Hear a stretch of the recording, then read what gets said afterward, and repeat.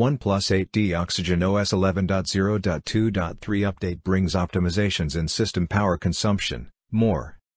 OnePlus 8T has got various optimizations in the form of Oxygen OS 11.0.2.3 update for India, Europe, and global variants. The incremental update brings optimizations in system power consumption that helps in reducing heat generation, and optimizations in the intelligent 5G function to extend battery endurance. Apart from this, the update also improves system stability. The over-the-air OTA, update for the OnePlus 8T is being rolled out in a staged manner. The development has been shared on the OnePlus forums. OnePlus 8T Oxygen OS 11.0.2.3 update.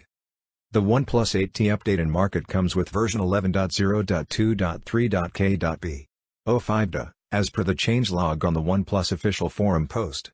As mentioned, the update brings a few battery optimizations and minor tweaks that improve the overall performance of the phone.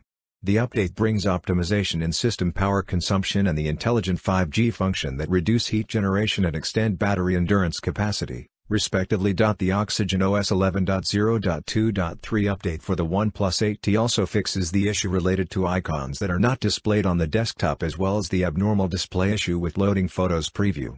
Network-related fixes and optimizations include Bluetooth connection stability as well as network stability. In EU, the phone is receiving v11.0.2.3.k.b.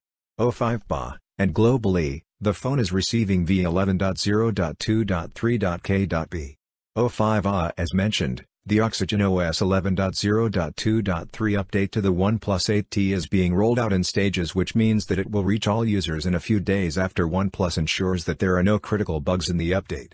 If you have not received a notification for the OnePlus Nord update, you can manually check for it by going to Settings greater than System greater than System Updates. Recently, OnePlus took to Weibo to announce the launch date of the OnePlus 8T Cyberpunk 2077 edition. Set to launch today, the phone is teased to have yellow and gray accents. For more updates subscribe to Tech News and share this video.